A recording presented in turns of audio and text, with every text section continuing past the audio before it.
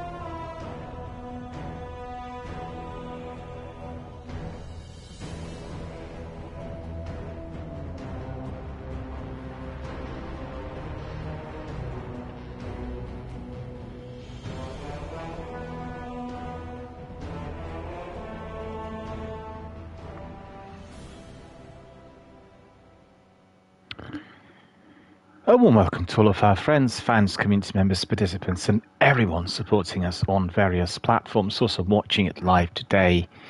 I can't believe for the life of me that two days after the release, I'm getting this message. I'm honestly, I can't believe this. And I've seen so many negative comments and views across all platforms indicating that Bungie yet again didn't sort it out and um, mean, I was reading some reviews today indicating everything worked perfectly, and purposely I've not even tried to get in yesterday, thinking that within the period of 20, 24, 48 hours, everything was going to work as it should. But look at this now.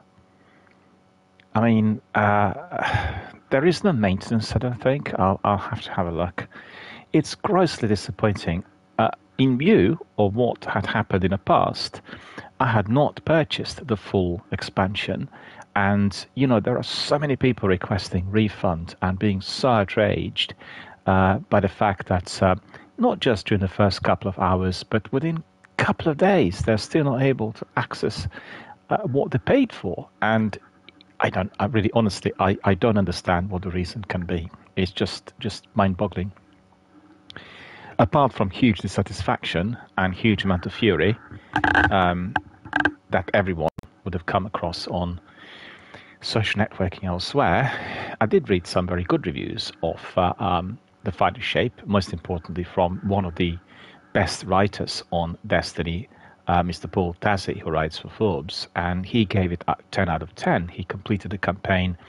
But at the same time, I've got to say, I kind of think, well, you know, he probably did not complete the campaign uh, at the moment. He had pre-release codes and he probably played everything before the game was released.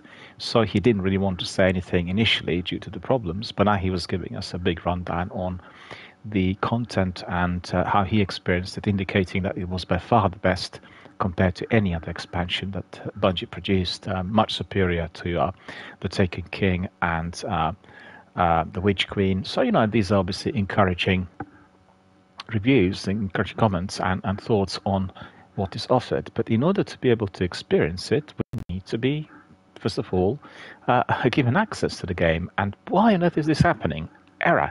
Let me just double check whether there, um, there is anything on Bungie Help. Uh, I've got to say, I really, I really have no patience for that sort of thing.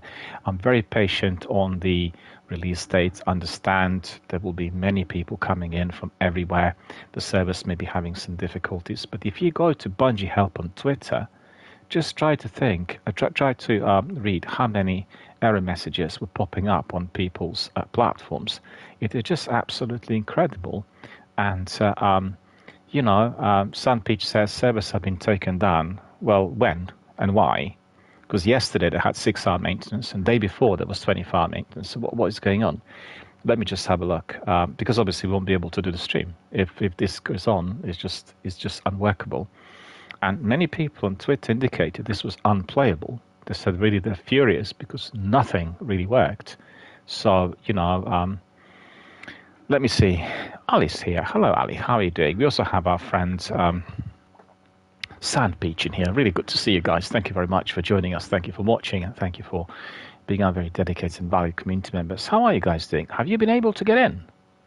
Have you been able to try anything? Um, Because I'm getting messages still today from various community members that they're still not able to, to get in. And that's on PC, PlayStation, and Xbox you know, across the board. It just, just seems to be still a, ma- a major problem. Let me just have a check on Twitter to see what they um, have. And Aligot says Destiny 1 is working surprisingly. Well, I mean, they've not done anything to it, you know. Destiny 1 is just up and running. What they did do during that 24 hour maintenance is they were disabling Destiny 1 service for the launch.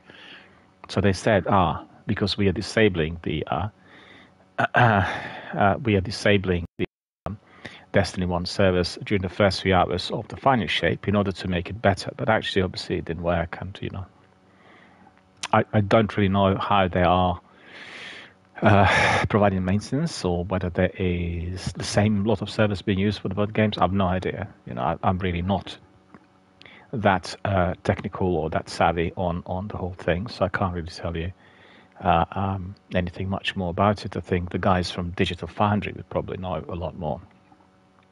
So let me just have a look. Let me just have a look. I'll go to Bungie Help, right?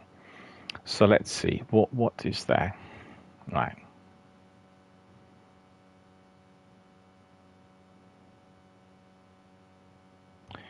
Right. So it says here upcoming maintenance June the sixth. That is today, right?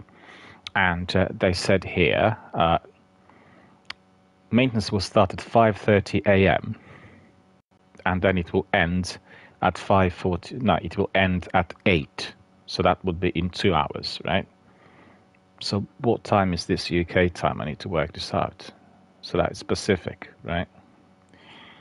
Let me just see whether this is all legit. Bear with me.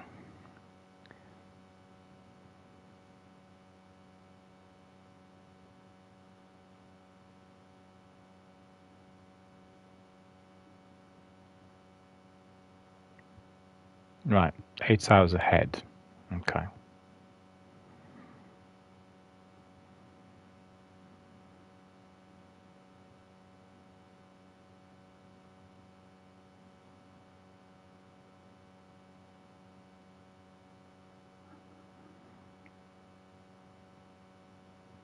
So, according to this, in the US, in the area which comes under the uh, Pacific Daylight Time, it is 7:11.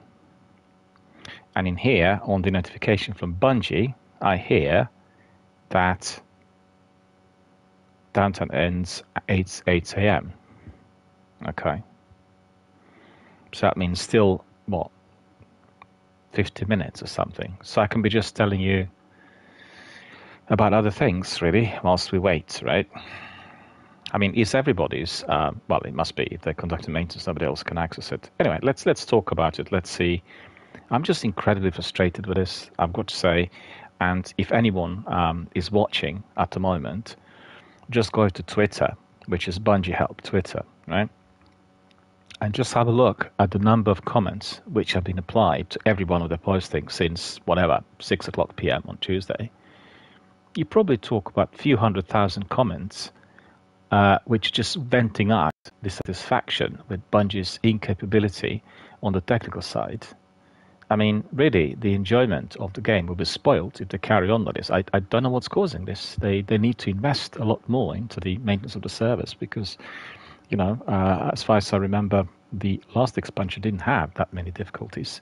But then maybe th- there are different reasons for it on the technical side of things as this expansion is changing everything. I don't know. I mean, I can just speculate, but just have a look at the number of negative comments. And also, I've seen on Steam, it was like 90% negative. And, you know, huge number of people bought um, Destiny on Steam uh, for this reason. They want to play it um, competitively on the PCs. You know, I'm, I'm, I'm really, I'm speechless, honestly. I'm, I'm really, I don't know what to say. So you know, um, what what I can do is just to make sure that people don't see this this terrible thing, we can put this uh, dialogue screen on, so you can see the dialogue screen. We can talk. Um, bear with me up to the point when it comes up. There we are, and then we'll we'll be able to see all together uh, uh, what what is uh, happening with Destiny in one of those pop-ups. So just I have to leave it on that error message in order to see what's going on. So let me see what our friends were saying in here. Um, but maybe we have here Ali, we have um, Sand Peach, and we have Playmore. So thanks very much for joining us. Really appreciate it. And uh, um, Playmore says, uh, I managed to make some progress on the final shape, and it is great. Well, that's terrific. How long did you have to wait before you got here? Just quite curious. Look at this. Another message. Do you think increased traffic login services to Destiny are currently being throttled? Please turn this screen until your login services stabilize and you're logged into Destiny 2. Getting another message. Almost as heard me. That's funny. Wanted to hear from our friend um, Playmore. Yeah, uh, Playmore says on launch night I waited two and a half hours until I managed to get logged in. Well, that's pretty good, you know. Because many people waited for eight hours, and I've seen some of our friends from the US saying, I've taken a day off um, work in order to play on time, and uh, you know, I waited for eight hours and then decided to go to bed. And I'll come back to it in the next few days. There's been some other comments um, indicating there was one guy saying uh, that he was not feeding his children and he wasn't doing this and that. It just seemed like really a, a bit abrasive, you know. I don't really think that that was relevant. It's just expressing that degree of uh, aggravation with the whole thing. And um, uh, Playmos says, uh, um, got maybe Faz gameplay before it started getting error messages. Uh, didn't quite get whether you, you actually played on your PC or your PlayStation or consoles or Xbox? Quite curious to hear. Because I remember Sakapupa told me the other day he was also waiting. He couldn't get in. He was on his PC. Um, and um, says that he was playing on PS5. Yeah. Um, well, I'm playing it also on PS5 in here, so you can see nothing works. And the other day I waited also. I didn't wait for longer than an hour. Uh, did some other things as well and uh, it was just the idea was to be able to run a stream that would introduce the initial sections and the changes, you know, of the final shape, so we can see how they rework the structure, the strategy, and everything else to which the game is delivered. And the idea was for that to be done uh, roughly around the release time. So I, I expected some problems at six o'clock, you know, um, and uh, I thought maybe we'll do it a bit later, but uh, you know, just didn't seem to be possible. I'm afraid it was just carrying on and carrying on. And really, uh, if you go to Bungie help page, you'll see that the problems are, I guess, arising in all sorts of compartments. They're getting Weasel and uh, you know all the other messages which we would pick up from time to time when playing um, Destiny One as well, and I, I, it really it, it's mind-boggling uh, considering this is a, a huge company. Also now they're under the Sony umbrella and they have access to some additional services. And my feeling is that had they stayed with Microsoft, they probably would have had very few problems because you know Microsoft owned the entire network of service and everything. Even PlayStation had to rely on Microsoft Cloud services. And and I've got to say, I, I played the other day a couple of uh, PlayStation Plus titles uh, on stream I just want to ask Playmore, do you also use the, the same services um, as myself? Are you also subscribed to uh, PlayStation Plus Premium? Because really, quite frankly, the streaming on some of the games doesn't work at all properly on PlayStation 5. Some games work fine, but some games are terrible. I just keep getting message your internet connection is not good enough, and it just keeps you know crashing all the time. So I don't really know what the reason for that is because my internet connection now is very good. It's not ultra fast fiber, but it's certainly extremely fast. And the upload is up to 30 and the download is up to 160. So I don't know what the problem is. It, to me, it seems that the service is not working properly as it should. That's that's you know. Um, And I mean, generally, the streaming services on Xbox as well. If you're not on ultra fast internet, it just you'll get sometimes a bit of a, a lag, and but you know, it, it does seem to perform, particularly for indie games. It's fine, but for the bigger titles, uh, let me just see what our friend's saying here. Bear with me.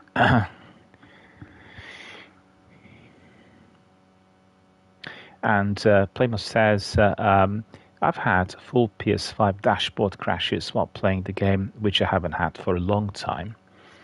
Yeah, yeah, that's that's due to uh, the problems with the game. And Playmos says, yes, I'm on PS Premium membership, but do not really take advantage of the games you should be able to download the PS3 games, in my opinion. Yeah, I'm, I'm asking, as I'm quite curious. I'm quite curious uh, whether you're experiencing the same problem, because I know that you, you, you are um, uh, in possession of a much um, greater quality internet than myself. I mean, I'm on 4 and um, 4G, 5G router, so that's providing me really uh, re- reasonably fast speeds. And uh, um, I still can't have fiber we don't have fiber in, in, in you know uh, in Hartford, so there's there's nothing that I can do, and uh, um, so I'm I'm just wondering if you were to be streaming, you know, instead of downloading through PlayStation Premium Service, you to be streaming directly, whether um, you also get it choppy. Yeah, it's, it's, yeah, it's similar. Like like you said, the stream service works okay, but I've had some choppy gameplay.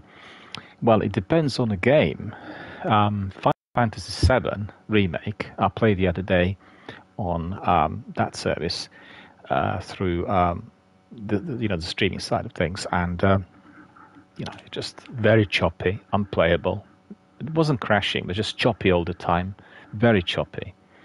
And then you know cutting in and out, so to speak, and then it just it didn't seem to be working properly. If if if I was to be playing an older game, like an indie game, then I think there'd be fewer problems. It's just down to the bandwidth. It's down to the, the graphics and everything else that uh, the game's using. And um, you know, I watched um, Digital Foundry presentation. Uh, wasn't that recent? It was last year at some point.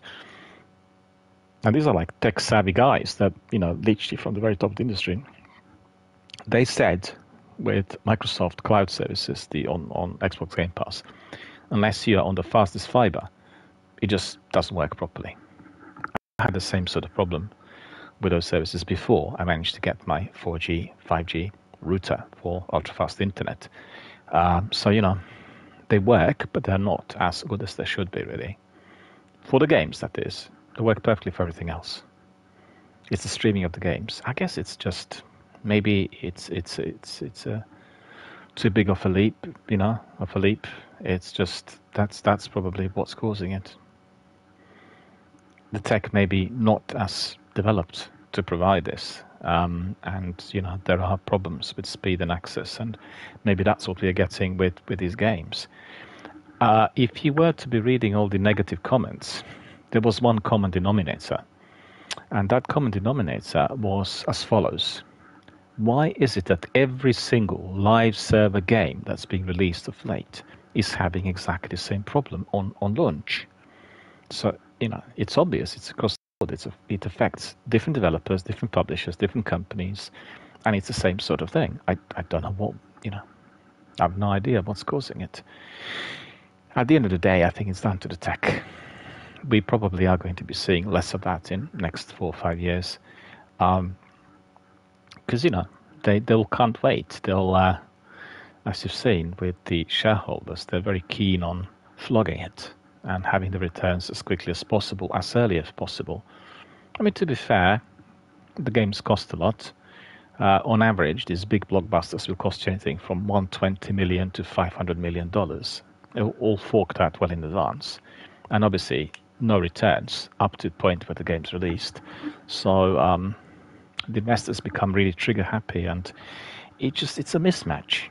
On one hand you're promising people the whole lot of enhancements improvements and you know bettering of the services and then what happens is something else because you're not in possession of that technology. I think anthem probably the best example of them all. I think anthem must have been an amazing game and they should have waited extra five years and probably everything would have come out completely differently to what we've seen and uh, maybe even more than five years. and you know it just just backfired. Uh, that was a dreadful launch. It's just completely everything went downhill, and uh, um, you know nothing worked. What annoyed me was rubber banding. You get that on some games, and it's a, it's a live server PvP game. Um, I mean PvE game, and you come in, and then you keep walking forward, and you're being constantly brought back.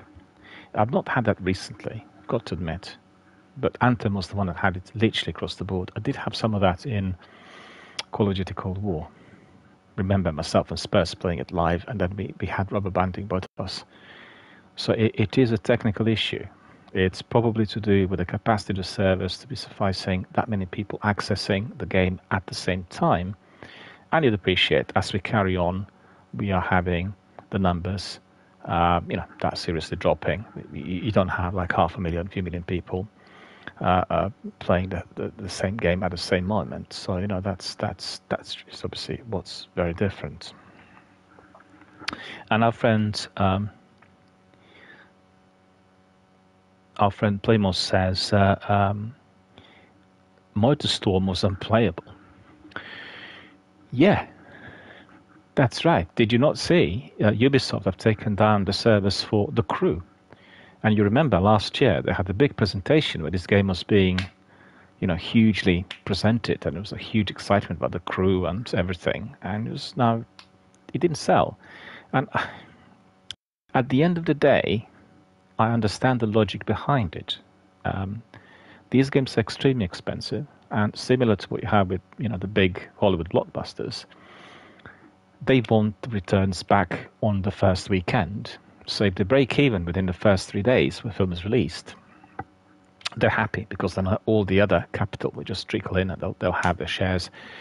If the money is not made within three days for major blockbuster release in cinema, then there are very many problems for everyone. They will get the money back eventually, in some cases, if we're not talking about some sort of unbelievable disaster.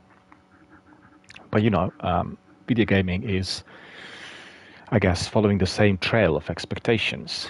Um, video gaming has gone down the route of the similar expense, albeit there are many more games being made with a much more of a, uh, uh, of a um, higher budget allocated. So you're talking about very many titles that carry that degree of risk. So it's you know, uh, video gaming is not a risk-averse industry. It's just a fact, and um, I don't know really. This is annoying, and you know, uh, for anyone, I mean, obviously, you invested in the Final Shape um, DLC, Play More, and it was about seventy pounds, I believe. The standard edition is about two hundred pounds complete edition in the special one with with um, figurines and all sorts.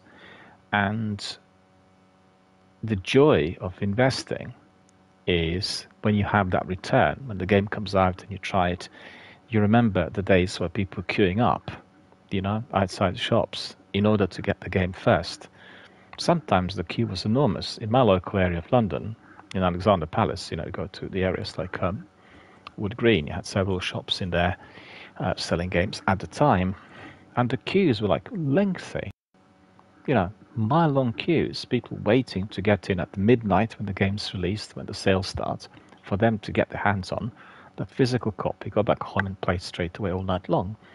And I guess it's the same expectation, right? So people will want to be cracking on, and I guess, you know, if you went to a shop you purchased the physical copy, you still have to travel back home by the time you got back home if you weren't local. You know, the, the, there were lots of chores, but in this instance, it's like instant access, and in theory, everyone should be able to do it at the same minute, straight away. Um, that is uh, even more so grossly disappointing. I can understand some problems when nothing works, like you said. You know, the entire dashboard was like collapsing and you were crashing all the time, you know. I mean, I remember uh, analyzing the problems with Anthem, and I was very curious to see what uh, um, the guys from EA and from BioWare would, would give us an excuse or an explanation as to why it was so bad. And they said that they actually enabled every one of the servers available in order for everything to work properly. And the number of servers accessible to the users was not an issue. So what was the issue then? Well, they said the issue was to do with Frostbite engine. It's the Frostbite engine that didn't seem to be compatible with that degree of participation to the multiplayer. I don't know. I can just believe, obviously, what they described. But um, a developer of that magnitude, you know, really, honestly, that size, with that investment, they really need to think about these things in advance. There has got to be. Yeah, I can see that PlayStation wants to shut me down now, so we'll go back to um, the final shape uh, title page, the main menu, whatever. Our friend Playmos says, Yeah, I used to do midnight launches, did them for the Nintendo 3DS. Well, there you go. So you know what it was like queuing up uh, up there in the rain and you know cold weather and wind and all sorts. I've seen it quite a few times when I was coming back home um, on a bus and um, lengthy queues rain pouring down and everyone kind of just happy that they get that you know new edition of Halo, new edition of uh, um, of uh, uh, Elder Scrolls or any other games. Uh, Call of Duty in particular, I remember, was extremely popular. The lengthiest queues that I've seen. Still a very popular game today. You really wonder what it's going to be like um, uh, with uh, um, Black Ops um, coming out on um, Game Pass and there's been a lot of chatter on various platforms, you know, in the industry, on whether Microsoft and Activision want to be introducing a new economic model, you know, like a new ecosystem for um, the sales of the games in the future. Because obviously, once they release Black Ops Six, then I think we'll we'll have a, all the other uh, um, installments of the franchise released to the same platform, and you know, I guess it will be a problem for some people. I, I just think, as it stands today, it's the best if you have, if you're in position to have, obviously, both consoles and a PC. They can just swing from one to the other. I think Switch and Nintendo will be always on the sidelines because they're the most popular console, and uh, um, they will not be releasing the majority of the titles for other platforms for the obvious reason, unless they get integrated in some some way the near future through cloud access or something, which is what they've been talking about. So you know, it's it's it's hard to tell. I just think that the new the new leadership of Sony, they're just changing the leadership as we speak. I've seen a couple of postings on uh, Eurogamer, I think, about the new new chap, and you know, new people coming in pursuing exactly the same institution policy, and it is not going to be successful. You have other competitors pursuing cross-platform, cross-access, cross-save, and sharing the titles with others, and you want to be proprietary, i.e., having the title just for yourself as exclusives, you will fail. And you've seen them already a few times during the last five, six years when they were trying to contradict um, Microsoft. They, they wanted to kind of beat them to it by indicating, yeah, but we, we are not allowing our main titles to be day one releases on streaming platforms. We are not going to be including the big AAA blockbusters on uh, PlayStation Now and PlayStation Plus, and you know, and failed. It failed. That's just a fact. people will buy titles eventually, and I think Microsoft's uh, uh, Game Pass indicated not maybe for every one of the titles. You know, um, I guess for the majority of the small indie titles, uh, they will have like the big initial exposure so instead of know, a few hundred people playing, there'd be like a few hundred thousand people accessing it. Um, a new title that otherwise people would have not noticed.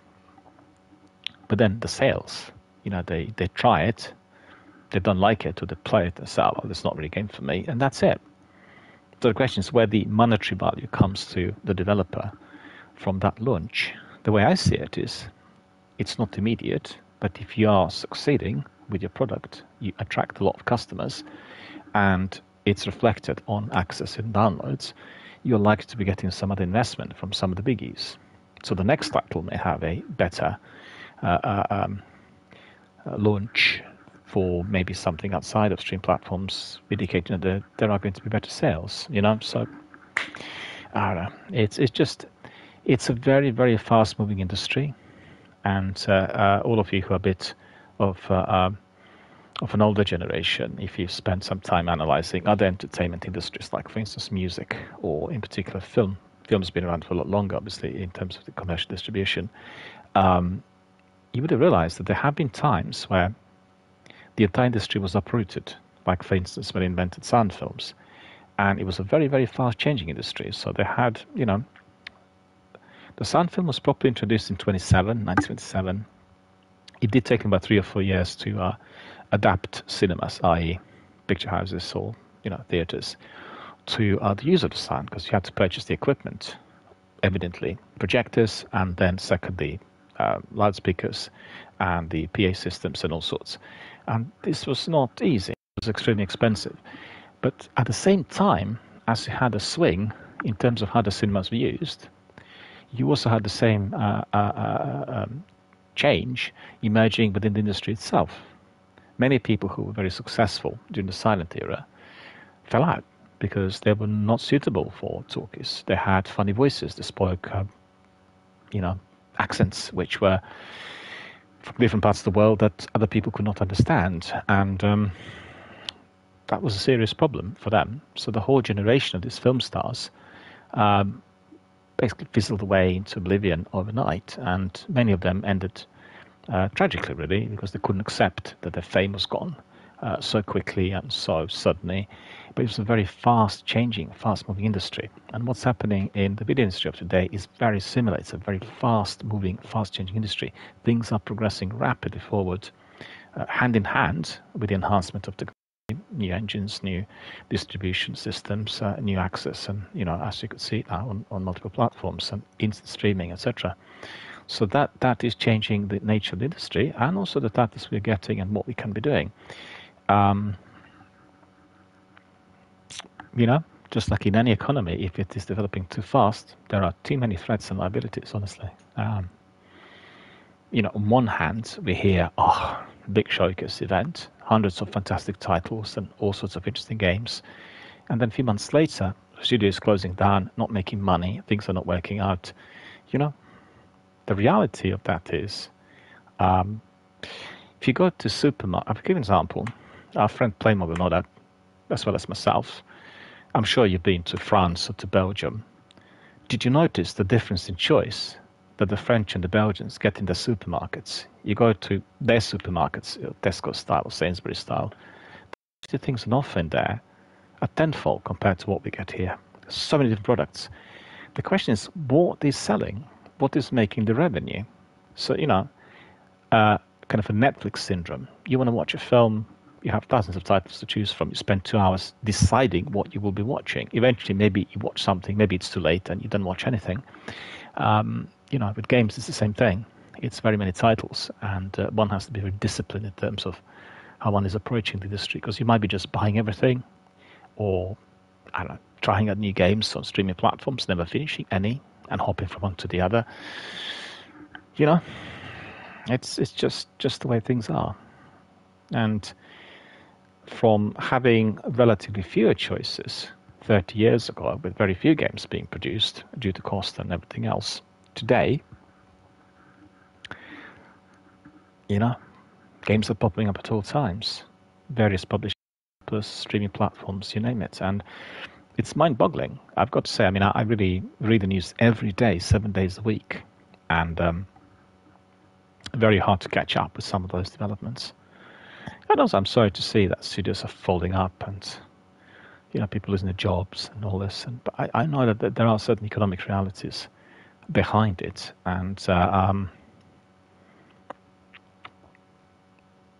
I mean, evidently, people prefer certain titles doesn't matter what you offer and how you package it. Certain people will, you know, go to your local shop and will buy wholemeal bread, or they'll buy just a, a white bloomer loaf, and they'll just want that. Doesn't matter how good the other product is; they just want that.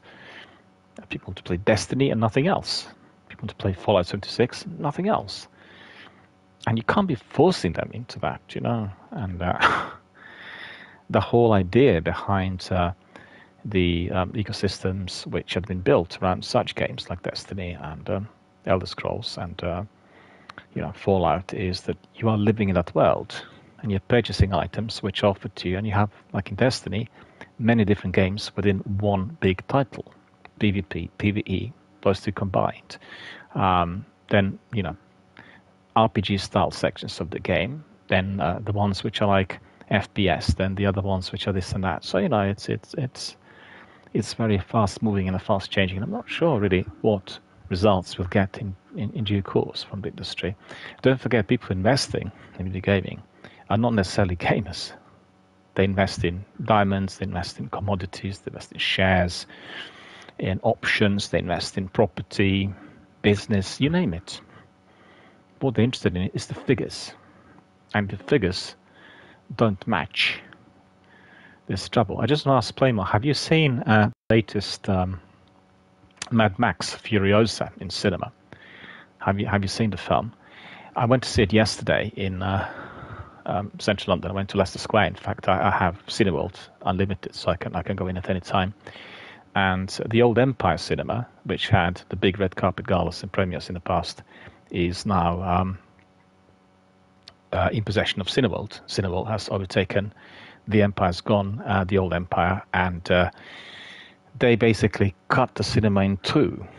So the very big auditorium that was previously housing up to four, I think about three or four thousand people, um, is now basically split into two different screens. One is called Super Screen, the other one is IMAX. And uh, I kind of prefer Super Screen a bit more to IMAX as they have really very good balcony, so it can be quite far away from the screen. Um, IMAX, it's a massive screen, but actually the seats are too close, so not really for my liking. And any couple of shorts. Um, went to see Furiosa yesterday.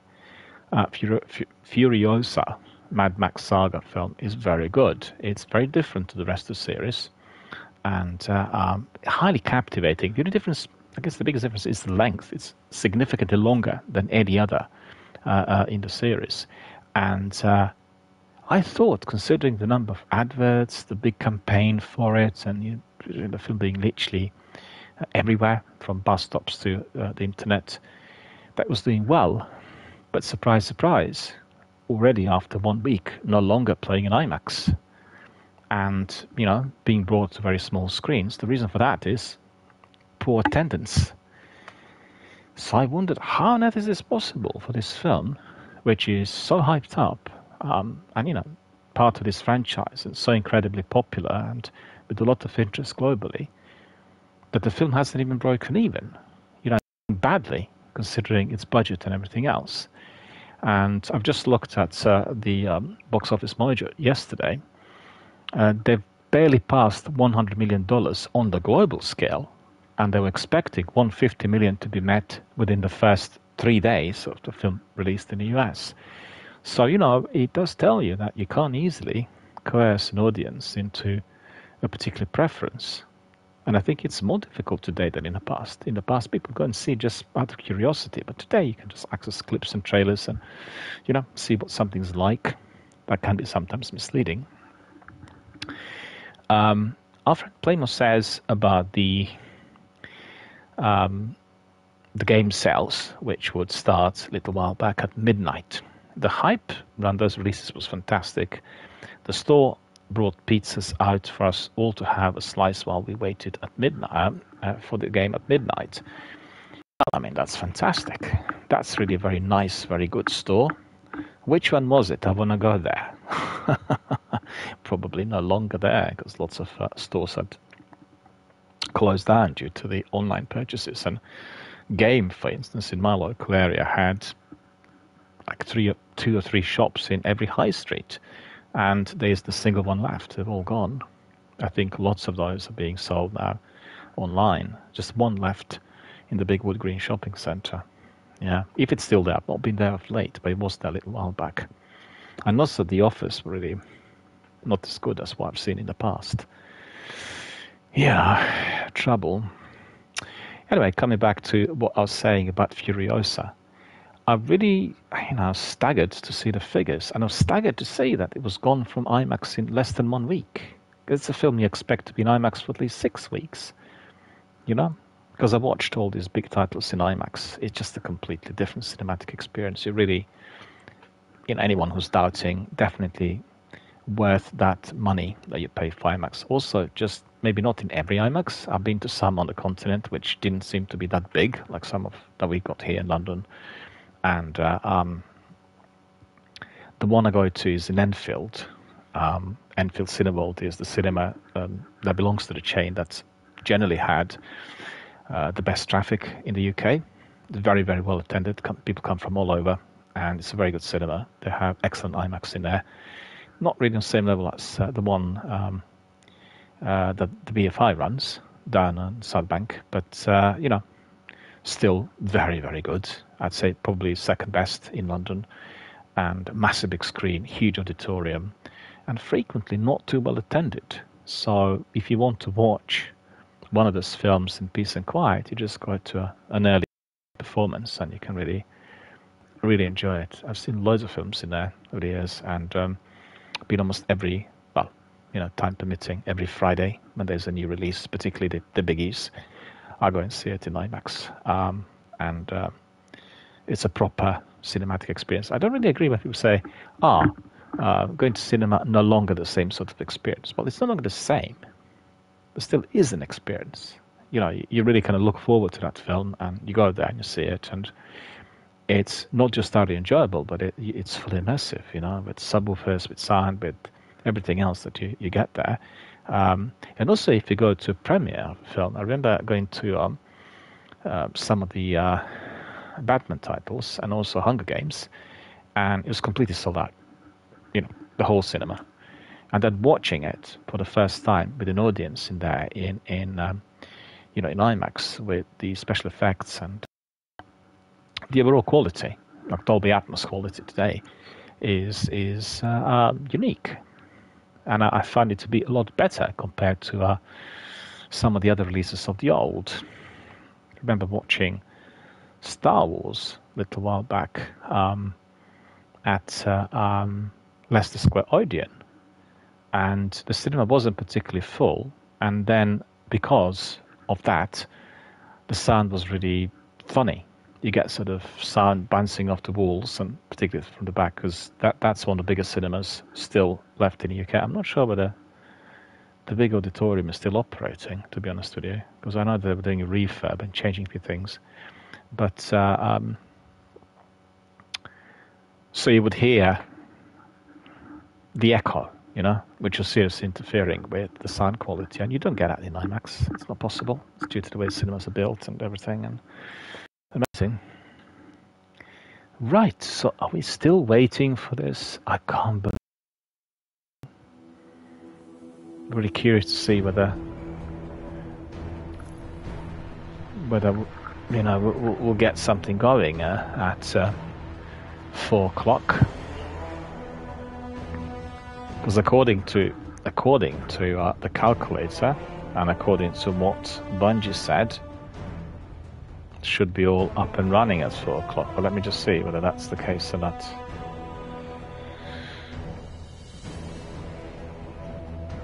London, three forty-six. Okay, and then Bungie said. So that should be all done and dusted at 8 o'clock a.m. Pacific, and that should be 4 o'clock time. So I really want to see whether this will work or not. Well, we need to still wait and see. Still have to be a bit patient. But you know. Anyway, let me have a look. Oh, there are quite a few people watching. I want to hear from other people. How are you guys doing? How is everybody today? I had a very good day yesterday. In fact, yesterday I had a medical day, the whole day dedicated to my health. So first I um, went to the doctors, and then I went to my dentist, and then I went to my optician. So all of that was polished off by five o'clock p.m. And uh, um, in fact, I discovered yesterday. I went to my optician because I felt that my eyesight was changing of late. I, I could feel the difference when I put my glasses on um, some of the areas, medium range, seemed a bit softer, out of focus. So, to my great surprise, after having my eyes tested, we discovered that actually it's not that my eyesight is failing, but it's it's improving. it's better compared to what it was few years back. And uh, the problem with the vision is to do with the improvement rather than the deterioration of the sight as I suspected. suspected. So uh, I'm going to be getting new glasses, uh, and they will have somewhat uh, of a lesser strength. That was that was you know really uh, very surprising. It's never happened to me before, and you know I'm not a teenager, so to hear that at my age I'm uh, having that degree of improvement of my eyesight is is a revelation. I I've not not come across that before, and uh, um, and then uh, I, I, had a very good dinner. Dinner was terrific. There's, uh, I have to say, uh, it's really quite surprising in the local area of North London. So that's, uh, um, I get literally proper north. It's not like northeast or northwest. The areas from uh, Alexandra Palace Wood Green Muswell Hill to Southgate.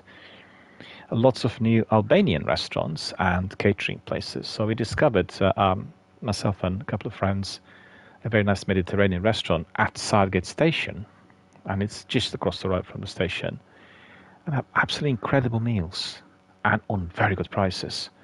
So I went there again yesterday. I had a really big meal, and they had uh, a sort of um, potato and uh, um, carrot stew with a bit of meat.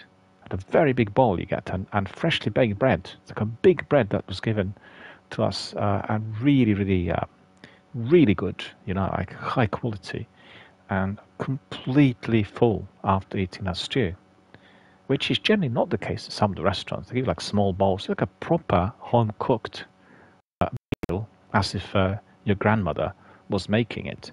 And this very good friend of mine recommended me this stew. He said next time, because we two of us went there, we had mixed grill, like the house grill and that was not costing us much, you know, considering what it was. A big grill we could have been eating, well, we were eating it half a night, and um, it was just so really absolutely terrific. So after having that meal, I went to uh, uh, uh, my local library and returned a couple of books back, and then went to Leicester Square to watch uh, um, Mad Max Saga Furiosa and uh, it was a great day. You know, very nice day as well. It was very warm, very sunny, very summery, and uh, could actually walk around town in shorts. That was something I don't frequently in London, and uh, uh, generally very very good. Then today is all about D-Day, so as I finish my presentation, I'll go to a big event that we have here at castle, and I'll be participating there. We'll be paying respects to everybody who passed away during the uh, uh, invasion or during the liberation of France um, as we were disembarking in Normandy and uh, big celeb- commemorations already in uh, uh, Dunkirk and Calais. And uh, we are going to be having something similar over here. So I will be going to that. Really look forward to it. See some of our old friends, and you know, it's going to be a very memorable uh, type of occasion because it's 80 years since. And today we are facing new challenges globally. Be interesting to see how that is reflected. I've not watched uh, some of it live. I'll watch it later today, and uh, kind of look forward to digesting some of the information and some of the uh, activities. I particularly enjoy the drills, which are formidable. In fact, the other day we had uh, Hurricanes and Lancasters above us in here. They were off to Duxford, which is not too far from where I am. And they have like a regular display of those planes um, for various events, you know, kind of commemorations, but different types of events, which are Second World War related. There's a big army museum in there as well, and uh, always interesting to see. They were flying informations, so there were three and threes, and uh, they're flying quite low, so it's very easy to see. And that was quite interesting. Children really love watching these kinds of things. So, so a very good couple of days. What has not been good is Twitch. And I have to say that I really am staggered by the lack of customer services that this company operates. It's gone from bad to worse. Uh, I was recording my regular daily news, and uh, on Saturday I had to catch up with two days and it was a lengthy stream. It was about two hours long, and it's quite lengthy for the news bulletin. And then guess what? nothing was recorded. And the stream was live. We had participants come in and talk and ask questions and all sorts, and nothing got recorded. So it's the first time it's happened to me on Twitch. I did have the same problem with Mixer when Mixer was operating for Microsoft. Uh, many problems with the Mixer app at the time, and all sorts. But, You know, don't need to name them today. But this was for the first time happening on Twitch. So I reported it and received absolutely no assistance. You know, it's like complete nonsense. Um, algorithm answering questions and sending nonsensical replies. And but the fact is, I wanted Twitch to be able to dig up the, the broadcast because it's got diagnostics. It went through Twitch servers. It's just all properly documented. No, exist, never recorded, never was launched. You never streamed at the same time. That kind of nonsense. So to them, hang on if, for instance, there was some sort of criminal activity taking place, you have everything saved on your servers. You can dig up whatever has gone through Twitch if there was a court order for this. But can you please investigate this and find out what's happened? Well, you know, where, where, where is my stream? Why is it not there? No attention given to whatsoever. So I've been really battling a tooth and nail really for about five days, and I've given up. I'm not getting anywhere. I, I said I'll, I'll go to um, Twitch headquarters in Oxford Street. In fact, I should have gone there yesterday. It was a bit late um, with my optician's appointments. I've been there a few times before for types of you know industry get together uh, events, and I'll talk to some of the leaders in there. So, hang on, this is just completely unacceptable. I can't be running my streams, which are then not recorded, because if that's the case, I'll have to get separate platform to be recording it have doubles to ensure that this could be archived. Um, so I've not been able to do any news this week um, so far. I think I'll record them tomorrow for the week and uh, um, record them on OBS and then upload to Twitch rather than stream them live because it makes no sense. You know, it's just like the whole work in there is then sent down the drain. You, you can't retrieve it. And also, obviously, I talk from top of my head. I, I prepare sometimes a few bits and pieces, but generally it's it's a reflection on you know what's on my mind, and I reflect on different thoughts, ideas, uh, responses, uh, you know, current trends, and that is like irretrievable unless recorded. So that's caused me a major headache and huge dissatisfaction. In fact, I considered whether I should start streaming through YouTube some of my stuff rather than here. Um, it also been for non-gaming they don't really have algorithms that operate properly. Don't know if you've seen that. Um, Playmo will probably know that. For just chatting and for um, radios and podcasts, you know, the category, it does nothing seems to be happening. It just like it seems really garbled. For the games, it's a different story. The games pick up, and uh, it's it's kind of run differently algorithmically. Uh, so I tested that, and I just was kind of staggered that, uh, obviously, for just chatting, if you have anyone who is semi-nude and doing things which they shouldn't be doing on Twitch, they will have many thousands of viewers. And um, for anything that is based on high-quality content, that is not uh, presenting you with any elements of uh, nudity or eroticism or anything of that sort, particularly if it comes from the younger gainers stroke streamers, then it doesn't really receive much attention. And, you know, that's just the way it is. And uh, uh, I think combining one and the other is, is, is a good way of doing it. I even considered whether I should stream to YouTube and Twitch at the same time, but then again, the these kind of uh, um, services have to be paid for, and then it's a bit taxing on my bandwidth, and you know, there's, there's always some sort of issue somewhere which is really annoying. Uh, when you watch how to do videos and uh, um, this is what you need to do in order to be a successful streamer or technician or a game developer, you watch these videos or tutorials, everything seems so easy, so pedestrian, so perfect, nothing goes wrong. And once you really uh, get your hands on it, you realize it's a different story altogether. Many challenges, I'm afraid, for small streamers and content creators. And I, I feel and I believe there are going to be many more introduced. Um, you've seen the big guys trying to really um, restrict what content can be presented in a live arena because they keep clamping down on you know content with copyright laws and licensing and God knows what else. And uh, if they feel that the capacity for their distribution or their overall gains are being diminished due to the presence of others, then they will obviously clamp down very hard.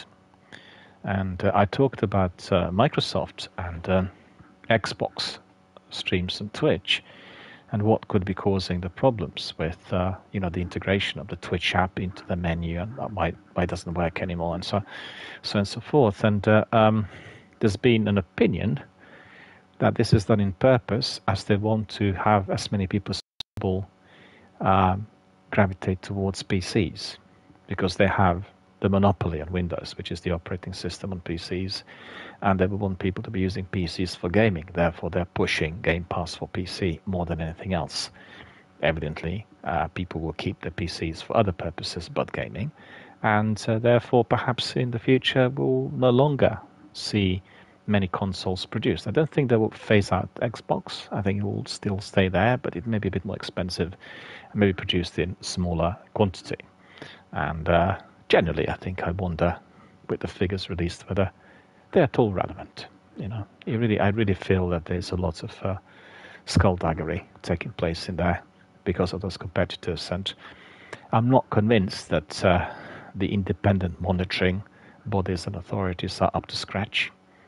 I've seen these companies release figures which sometimes seem strange, and um, in order to pursue the operation policy or their or the direction they're taking, simply, you know. And uh, let me see, anyone else? No, we didn't have any other comments come in. Right, so let me try again. It is now 1600 hours in here, if I'm not mistaken. Yes, on the dot. Let's see what we have. Well, let's let's hope we are going to be astonished.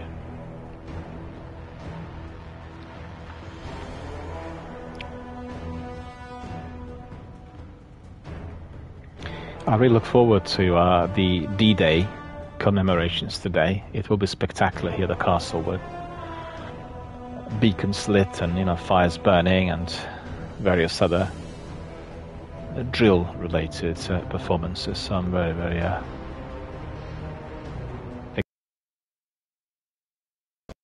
it's a unique event.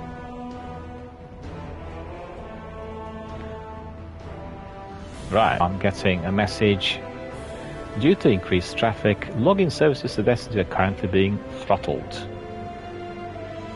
But what were you expecting? Diminished traffic on release. Um, okay, stand this screen. Just fearing that other error message momentarily. So I want to ask our friend Playmore. You obviously played the first section of the Final Shape um, what did you like? Like, what did you find particularly um, interesting or challenging or novel at the end of the day? I think Pathfinder and uh, Prismatic is what I'm interested in the most. And also how this will work with that sort of six week episode. Um, that's also very new. And whether the supers are going to be working as expected. It'll be challenging for people doing PvP with these extra supers, I think. It'll Be more difficult. And also the question is how quickly will those supers recharge in the PvP, you know? It's going to be the same like before, or... Well, I guess we'll see. Just have to be patient.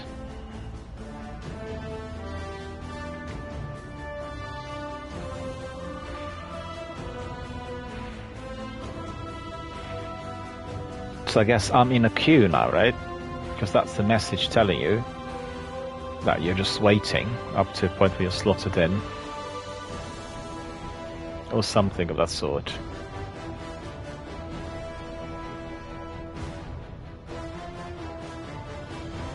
Quite like the dialogue screen, you know? You get like a, a good frame on your game and then have the chat up there. It's much nicer than just uh, watching one static image. I've Got to say the uh, the uh, the screensavers created uh, by someone for Destiny that I'm using are very good. I've seen even some better ones on uh, Streamlabs, but I don't use Streamlabs for my streams, so I couldn't really access them. I think they're also to be purchased. Kind of beautiful images, and you know, maybe in due course, we'll see. I just like everything to be as simple as possible, as far as the streaming is concerned, as little hassle as possible, because otherwise, excuse me, if you're doing things live and things are not working out, you become more preoccupied with the content delivery. And that's very similar to what you have with musicians playing live when the thing breaks down, like the equipment, your PA and um, your amplifiers, uh, your pedals, you name it, and then they just become so preoccupied with the fact something doesn't work, and uh, that's not always the most important thing when watching a gig. But you know what I mean? Just if, if you have it as, sim- as simple as possible, the setup which is easy and straightforward, then you do not have to worry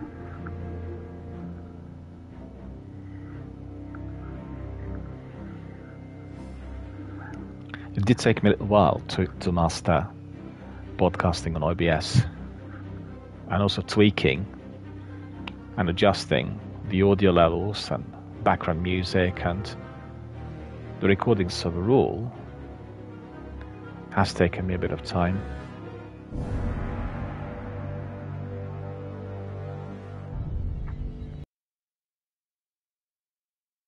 But you know, at the end of the day, everyone experiences the same thing like myself today.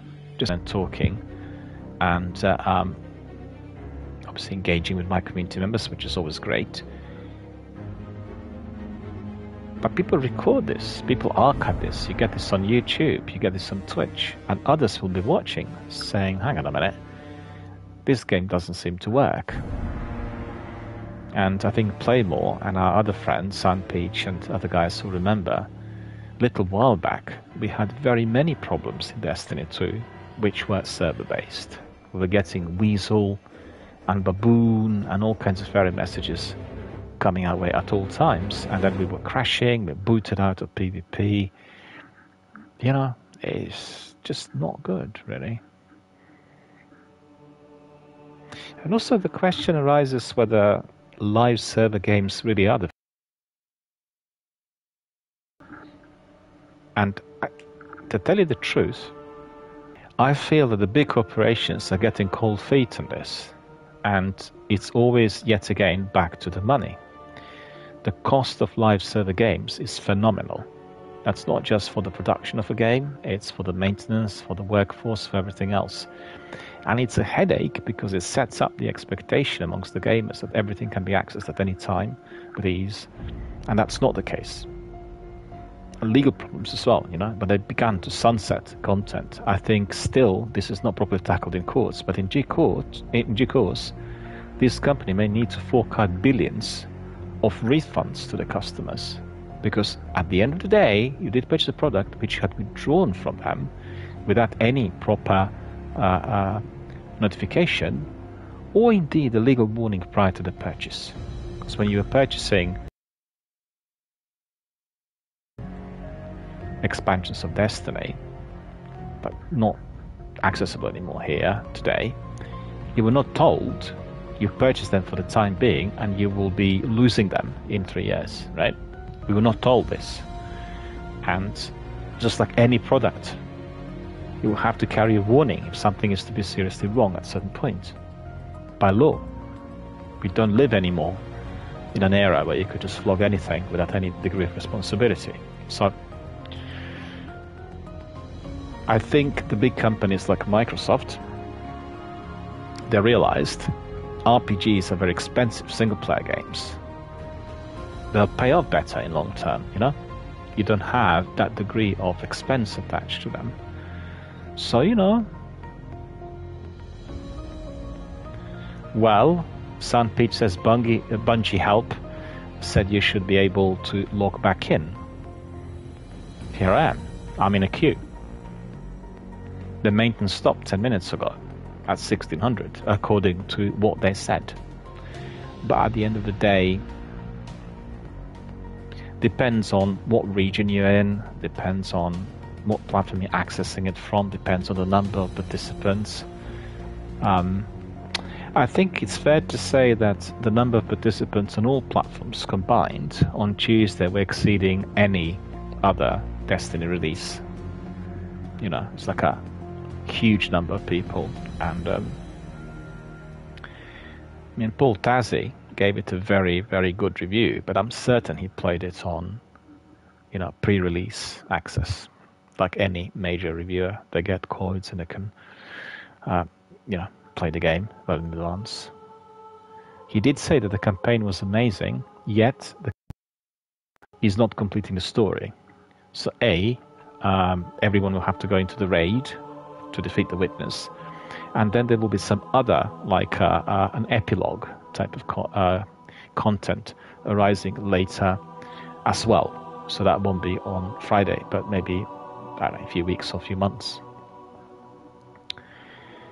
I have heard some rumors this week about Destiny 3 being released. Has anyone else heard anything of it? Because as far as I know, the Destiny 2 team have been completely denying any of it.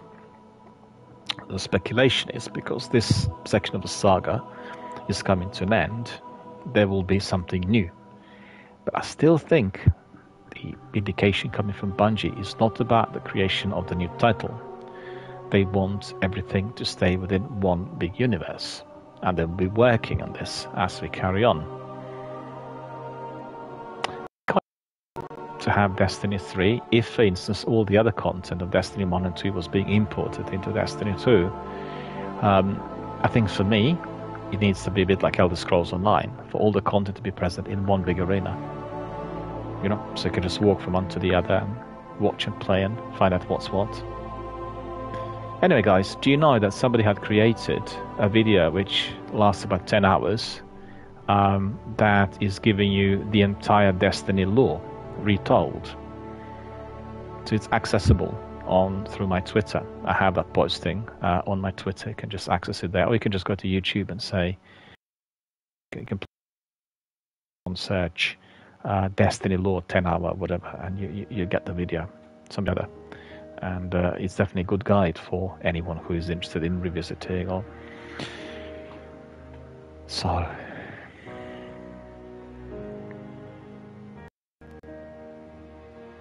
you see I can't uh, um, depart from this uh, queue I need to wait in the queue to get in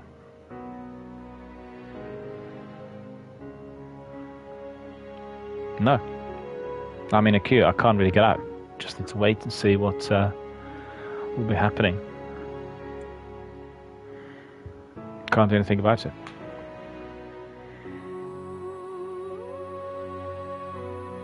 How's everybody doing today? What are you doing actually? Is everyone stuck on the Final Shape like myself, waiting to be uh, allowed to come in, or are you able to get access? Are you accessing it and playing it? Are you doing any other games? Just uh, curious to hear. You can see that we've had quite a few people watching and waiting for the content to come up, but you know,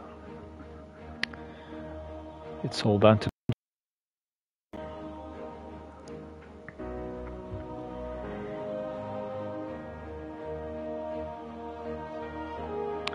doesn't provide them with any form of service if you know, people worldwide can be just watching that we are stuck in a queue for a long while. It's, it's a non-functioning game. You know, in view of these problems, and considering that the Final Shape is still evolving, there'll be more content to come in, I really have a fear that they probably will sunset some of the content. That's that's my suspicion. Some of it will be depleted to a degree. It'll disappear. It'll say, oh, not performing too well. People are not accessing it anymore. You know, because maybe there's just excuse me. Uh, there may be just too much of the content. You know, huge voluminous material that uh, um, is clutching the space. And then nobody can get in.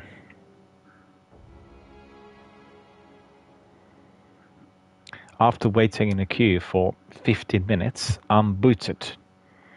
And I'm getting now this message saying that the Destiny servers are not available yet again. Our friend Sandpeach says, um, uh, I haven't bought it yet. I've been playing Fortnite recently.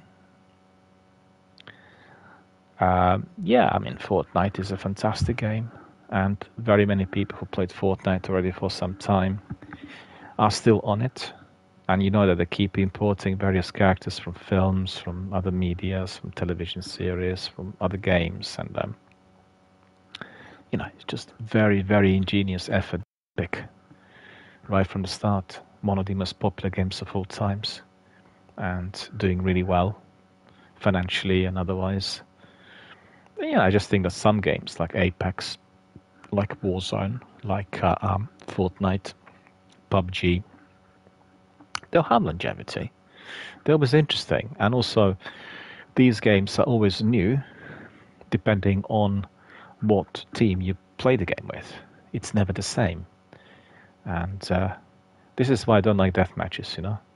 Death match is just completely unimaginative. A big open world map where you have to be contesting other uh, combatants and uh, other people to uh, survive is a different ballgame altogether. It's a lot more enjoyable, and you can enjoy. Uh, you can um, engage in different types of strategies, and you know, it's it's it's just as I said, every single. I remember we played Verdansk in Warzone for quite some time, up to a point where they were pulling the plug on, on the map. And every single time you get, in, you know where the, where the places are, but it's a different game. That is what makes it very exciting, very replayable. Yeah.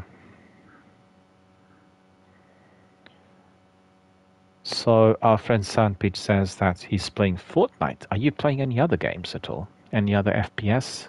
any live server games or maybe any any um, single player games. I'd be also curious to hear curious to hear whether you found any other titles to be of interest. We have so many at the moment.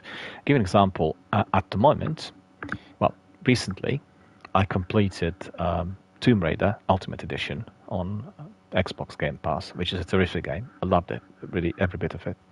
Recommend it to everyone. It's actually a horror struck survival game more than action struck adventure. It's quite brutal, and uh, I was quite surprised by, by, by the approach that the, the developer introduced. And then I played Hellblade, which I also completed. Very brutal. Um, one of the best games ever made. So, uh, on every level, from technical to any other. And definitely everyone should have a look, play it. And what's interesting is lots of reviews have been written about the game and not a single one indicated once you completed the game, you unlock a different narrator and you can replay it with different people telling the tale, which means they change the perspective of the game completely. Nobody writes anything about it. I really, you know, really wonder: Did people play the game? Did they actually complete it? Did did they know that the unlockable was provided? So, um, so at the moment, uh, I have Death Stranding, which I never completed before, and I figured actually I was playing it for about a week. What the reason for that was, it has this repetitive stealth where you need to be walking very long distance without much taking place in there, um, which is kind of putting me off to a degree. And uh, also found the character and the environment to be a bit cold and a bit austere. I like the game, don't get me wrong, but there's this sort of element where you don't really feel um, what he feels and that that I think should be of concern. And uh, I played it now every night for about a week, and then I decided, oh, I'll try something else. And I've gone to uh, Final Fantasy VII Remake, which is a terrific game. I mean, honestly, I played already now about three or four hours of it. It's really terrific. Everything is so good. From the environment to the characters, the storytelling, it's a masterpiece and everyone should really try it and play it. And uh, you got to download it if you're on PlayStation 5, and then you have the you know the, the full effect of uh, the quality that the game has, and uh, the sound, the music, the effects, the dialogue, the lovability of these characters, and you really feel for them. You know, you wondered. I mean, I wonder frequently why is Final Fantasy so popular amongst cosplayers. But as soon as you play Final Fantasy VII Remake, you get to know immediately uh, uh, as to why. As people really identify with those characters, really feel for them. You feel the pain, you, you can identify with the struggles, and everything else, you know. And it's visually stunning. Honestly, it's just really mouth-watering on every single level. Like in every Final Fantasy game, there are some very difficult bosses in there that need to be eliminated. So you know, beware. Make sure you practice your role play there with these characters. Make sure that you are uh, sw- switching from one character to another, and remember their superpowers and I mean the special powers uh, anything else that is based on their kind of in-game mechanics that will help you in order to defeat those difficult bosses. And then in addition to that, I've downloaded also Immortals of Aveum. That's a great game. Um, very, very badly received for some reason, but I played the initial section and it did remind me of Anthem, I've got to say, right at the beginning. It had a similar sort of uh, prologue where you were talking to various characters, and then initially you would only have two options, two questions uh, from which to ask, compared to the usual in RPGs, where you know quite a selection for you to choose from. Uh, but you know, enjoy the opening of the game, but we'll see how it progresses. I've not gone down the battle sequences. I've not gone into the army yet and uh, want to see what this hoo-ha was all about because I, I, watched Immortals of Aveum on the on various showcase presentations and I really you know the, the images the visuals and the whole idea grabbed me but they really pitched it for the worst possible time for the release two weeks before Starfield I mean you know who is going to be paying 70 or 80 dollars for that game if Starfield is just about to be released on the Game Pass, and um, that was just a complete shot in the dark. Really, really bad. Really gone the wrong way, you know. And I want to see whether the game is as good or as bad um, as some reviews indicated. So I'm really quite curious about it. Um, so yeah, that's that's what I've been doing. I've uh, had a couple of other indie titles uh, downloaded and told you all about it um, uh, in my news bulletins. So um, busy. And more titles to come. Don't forget on Sunday, Sunday is a big day. On Sunday, uh, you'll have big Xbox presentations, uh, showcase events, as well as the introduction of Black Ops 6. So that's a big presentation on Sunday. And throughout the whole week, we are having uh, the Summer Game Festival that is uh, full of different types of presentations coming from developers. So I definitely want to invite everyone to watch some of those presentations and participate as much as you can, you know, chat and comments and views and all sorts, which really helps. And we'll get to know about all the big titles, you know, everything that is coming our way in the near future. So very excited to see what's happening with Avowed.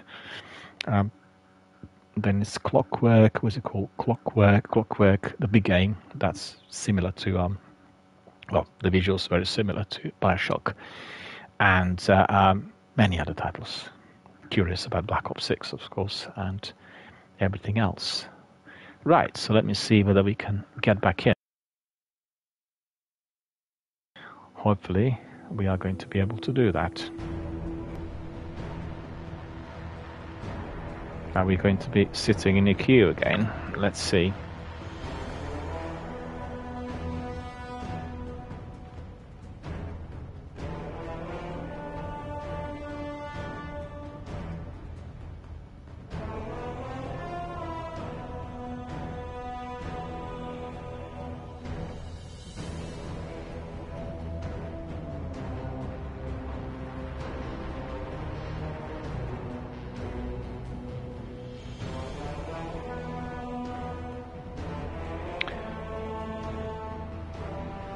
want to thank uh, Tyke Mython for joining our community, also a colleague streamer and content creator. So great to see you. Thank you for joining us.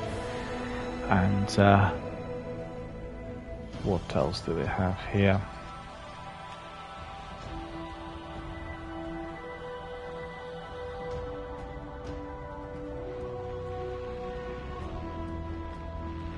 Well, nothing much really.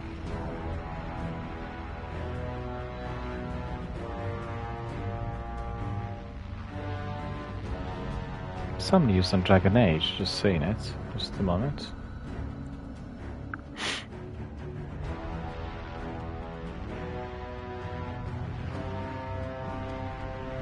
The next Dragon Age has been renamed the Veilguard. So on Tuesday we are going to have a presentation coming from Bioware and Electronic Arts and it will be 15 minute gameplay clip coming from them and all linked to Dragon Age so very curious about that.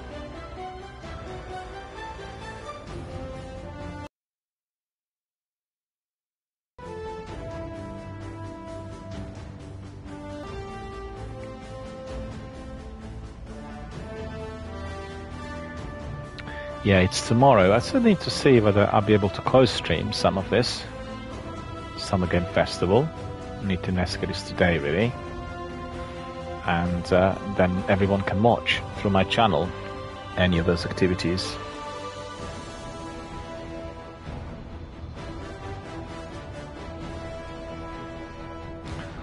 Basically, you can watch it through YouTube, 4K 60, Twitch drop, TikTok reward, Steam, Twitter.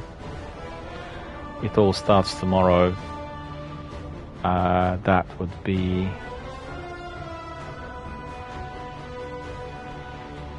It 10 p.m.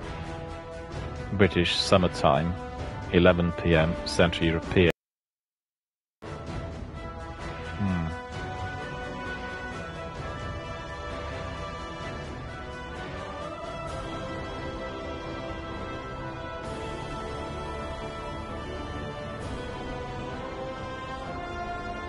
Yep, that's coming our way tomorrow. Well, our friend Sandpeach indicated uh, that uh, Destiny servers are available. So let me just see again. Uh, go back to Bungie Help. And Bungie Help is saying what? Update has been rolling out across all platforms and regions, and players can now log back into Destiny 2.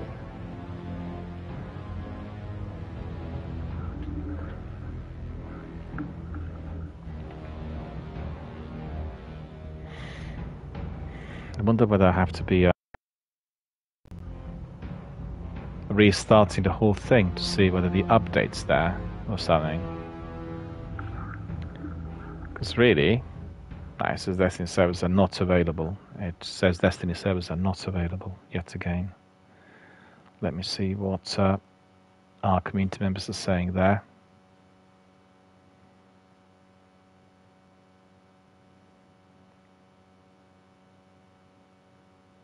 Thanks for no extended downtime. I'm trying to log in. Servers are still not working. No, not able to come back in. Still having login issues. Hopefully sooner rather than later. I spent more time trying to get into the game this week than actually playing it.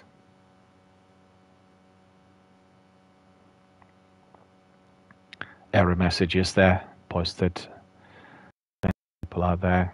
No, not being able to get in. Can't log in. Service unavailable.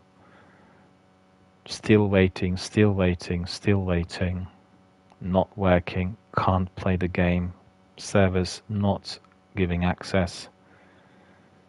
And this message in here. Again, error message. All of that coming in within the last couple of minutes. There's just like so many people writing that they can't get in and I'm unfortunately just one of them, as you could see. Nothing seems to be working in here.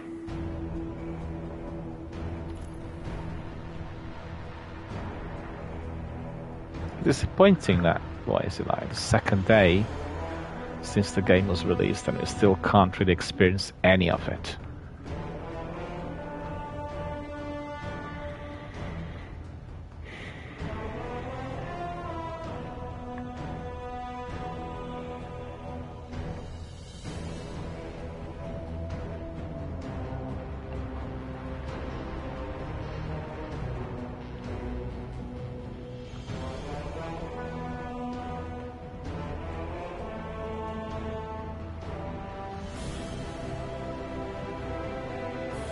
Tells me that we are signing in, and then I get the queue. And then after being in a queue, I get the error message. Anyone else out there? You guys trying to log in? Are you also having the same problem? I'm on PlayStation 5. Curious to hear. Anyone?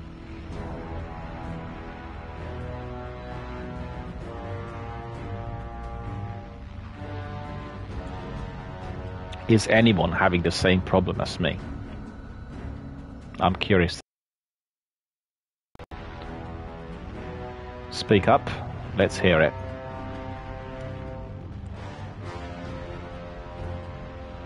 There's nothing much to do. I can just talk to myself in here and uh, make another hot drink. In fact, that's exactly what I'll do.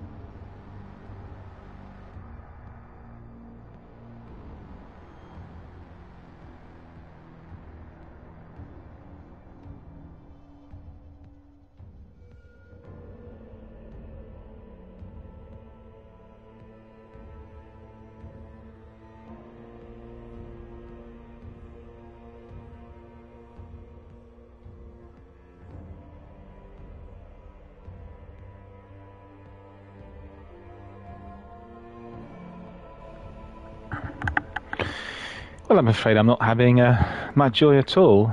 I just keep getting either the error message or the queue, and I'm not getting in.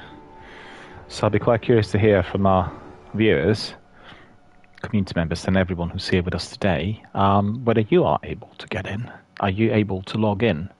Because I'm getting messages on Bungie Hub from around the globe. That's the US, France, Belgium, Denmark, Croatia, Italy, Portugal, Canada, people just can't log in. And they're saying, I'm Coast, I'm on West Coast, I'm Central, I'm this and the other. It's just the same problem. You know, the, the expansion was not ready to be released. That's that's the reason as to why this is happening. They already delayed it a couple of times, but you know, if something's not ready, it's funny. I listened to Ron McCaffrey and Destin Legarie the other day, the IGN guys, and they talked quite a lot, um, Destin in particular, um, about Halo Infinite. Halo Infinite also had a bit of a rough release, um, and you remember it had been delayed by 12 months. There weren't any major problems with on the technical side of things. It was more to do with the content. Destin did say that they've introduced lots and lots of new things, and uh, new maps introduced to PvP, new inclusions to the open world. So, really, from what he had said, the game had been massively improved. But I've got to say, remember that they've taken a decision to um, deplete Xbox new console of their release um, to come out on the same day. So the idea was to repeat the success of um, Halo Combat Evolved from that I think it was in 2001. So you had the console release together with the game being a big introduction, and I think for the first year there were hardly any other titles on Xbox but Combat Evolved. So they want to repeat that with Halo Infinite. And 343 just said the game's not ready. We, you know, we, we can't release the game if it doesn't function properly. It will be a disaster. And therefore they delayed it by 12 months. And I think Bungie should have done exactly the same thing it tells me that the game's not ready. They released the title, they released the DLC, and it's not performing. So they're like trying to make it work. And it is not going to work because it's not ready. You know, it's just, I don't think it is just down to people who are coming at the same time. I really don't. I think it's to do with the, the, ga- the game is. It's all well and fine being ambitious, but if you are ambitious, you have got to have the means to which you will deliver. It reminds me of um, me and you know kind of my friends and colleagues in our youth where we were wanting to be something. Like for instance, I uh, had uh, a huge talent in writing. And I wanted to be a, a film historian, a film reviewer, film critic, and you name it. And it was all like a big, big, I want to be that. And then I was given opportunities to do exactly that. And you know what? I didn't perform too badly. But once I sat there at a typewriter, needing to write, um, you know, it did take a bit of time. And I realized every single article and research and thoughts being gathered together some consultation at that time with colleagues because we didn't have you know the internet services, and uh, um,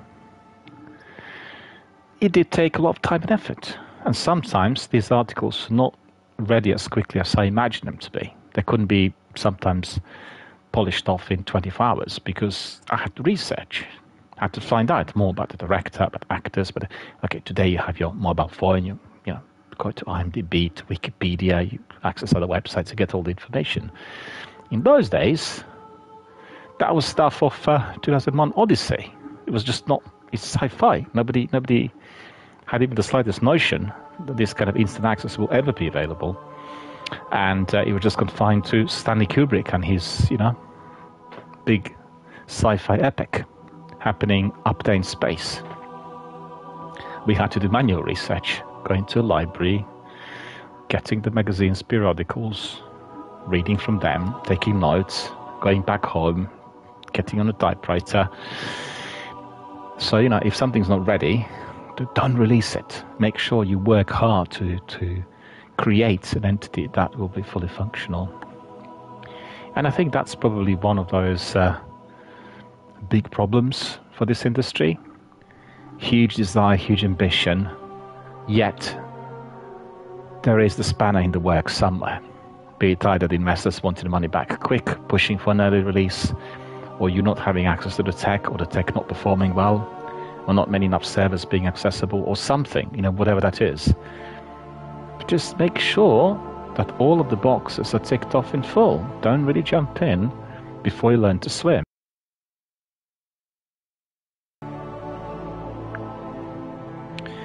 See that everyone's waiting. The answer, so I suspect we are all waiting to be able to get in. See, I'm in a queue waiting in a queue for 10 minutes, and then I keep getting the same error message. The message says that the Destiny servers are not available.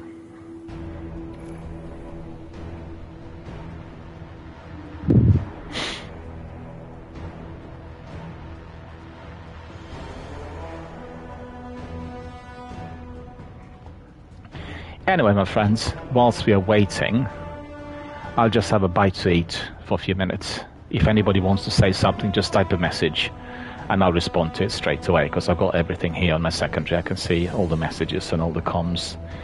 Um, I really want to hear from everyone who's played the final shape so far what your experience was. I want to hear not just about the technical issues. Gone to the campaign? Have you seen the novelties? Have you experienced the Pathfinder? Did you did you try your prismatic? How did it work? Is it a lengthy grind? What do we need to do in order to get it? Etc. Etc. Just ping me some messages so we can get some communication, some discussion flowing in here. You know, it's funny. I always think that my channel does have very many Destiny 1 veterans attached to regular streams, and um, I watched some of the big guys like Gladd and Sweatcicle and the others and you always get, you know, when, when you watch the streams, you realize only a few people who are communicating on the regular basis.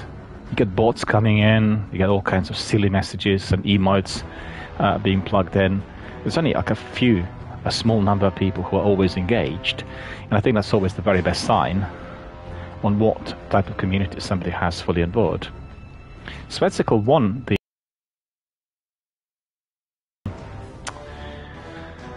was it? The competition that Bungie ran last week, and it was his team that won. Oh yeah, I know what it was. It was um, on Onslaught, I think, on the uh, seasonal activities, and information was published on this week in Destiny. So if anyone's interested, just either listen to my podcast that describe everything in depth, or simply access this week in Destiny. You'll get the information. But he's like a tip-top Destiny uh, gamer and somebody who likes PvP and has a very, very good team together with him. So, you know, they obviously won and uh, um, they, they managed to get all the rewards. Okay, I'll just have a bite to eat and then we can carry on in a minute, ho- hoping that we are going to be able to get in. If not, we'll call it today. I'll still give it a bit, bit more time, but you know, it's getting very frustrating. Um, it's really becoming very frustrating. I mean, uh, then and this is the sixth maintenance in Fortier Towers. Sixth. What can I say? Anyway.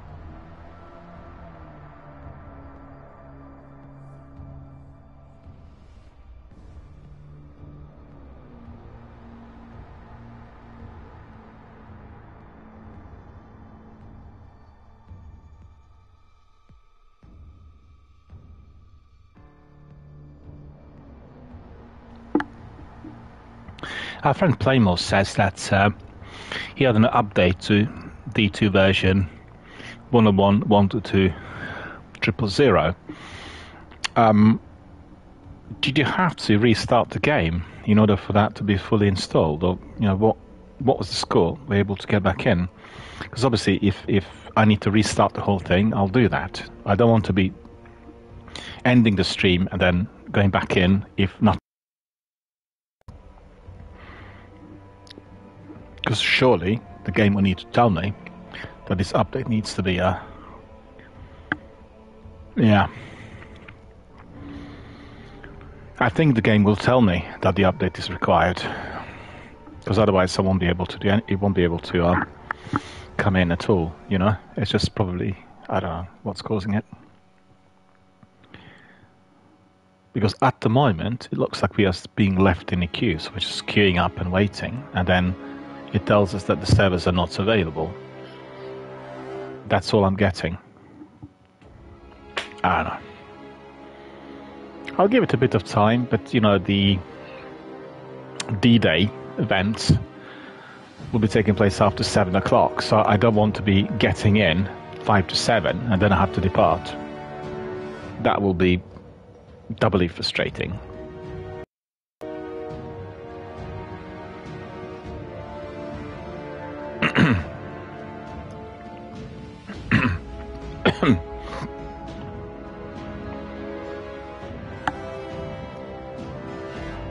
Now this one moment please is basically the queue.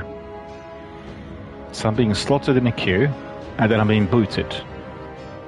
So I'm in the queue and then I'm out. It's similar to what you had with um, the Crucible. You know, like in Destiny 1, you're waiting, waiting, waiting, waiting, and then boot.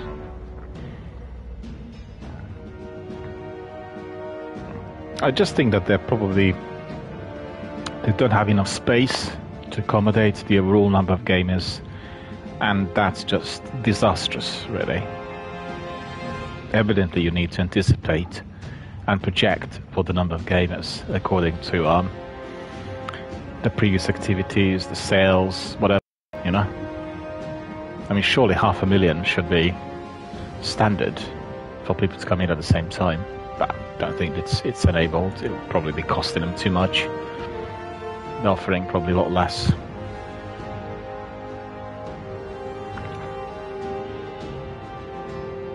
Well, if I'm to trust the stats, what I've seen was that the figures were reaching half a million on release between 350 and 470. That was what I've seen. But whether you know the stats are correct, God knows, could be all rigged and could be all totally uh, invented. You never know, really. I just really fear that similar to football, you're getting you know, the masters of the dark arts coming in in order to manipulate. And uh, I have seen lots of stories circulated that are completely damaging to certain developers and publishers, and are completely invented by the competitors and the allies. It's an ugly game, ugly kind of uh, game out there, really, the way I see it. People should be straightforward, and if your game doesn't perform well, take it on the chin, create a new one. You know, you know the trader's slogan cut your losses short, make your profits run. It's basic, right? So if your, your games are not performing well, just forget about them. Make a new one that will perform. But don't try to squeeze on others to pay for what haven't worked just because you feel sorry for yourself or the fact that your investment went astray or something people need to realize that any form of investment is always a huge risk. And it's not just financial. I mean, just think about people investing in their education or knowledge and they're not being able to get jobs. It's reality. It doesn't guarantee to anyone that a certain type of education will be enabling you to be holding certain positions. It will be down to lots of different factors, and people need to understand this.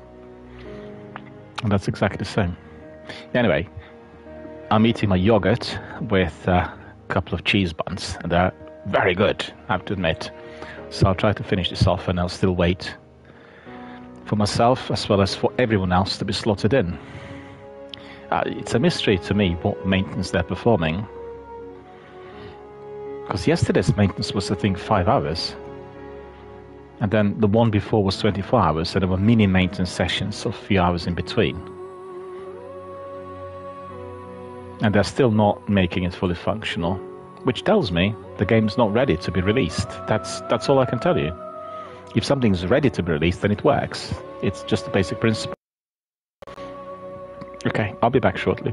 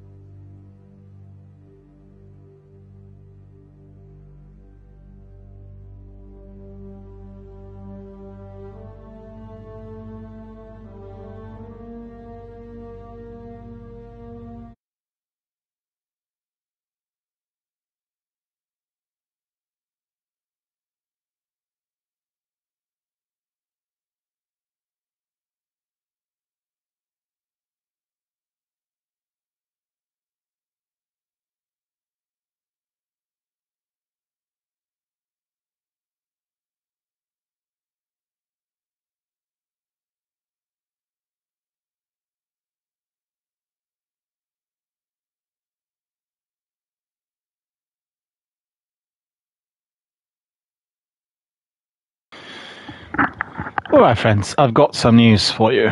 So, if you are wondering what you need to be doing, you need to check your Destiny game on PlayStation 5 and see whether the update has been fully installed. If it hasn't, you will need to install it. So I'm just watching it at the moment as it's being installed, wondering whether it will ask me to restart the game. Um, if he does, then I have to discontinue. Well, I have to end the broadcast and restart. But um, the good thing is, it's uploading really fast. So I'll be able to tell you very shortly what the score is. So this update indeed did arrive to consoles and I guess to all platforms, and it does need to be installed to be getting back in. So if you're like myself, just sitting and waiting, um, it isn't going to work all by itself. Just want to save you some time and trouble. That's that's what it is.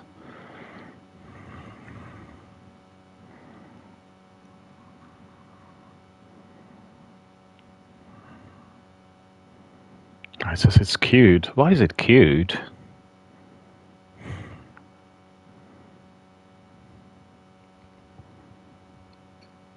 Should be installing it.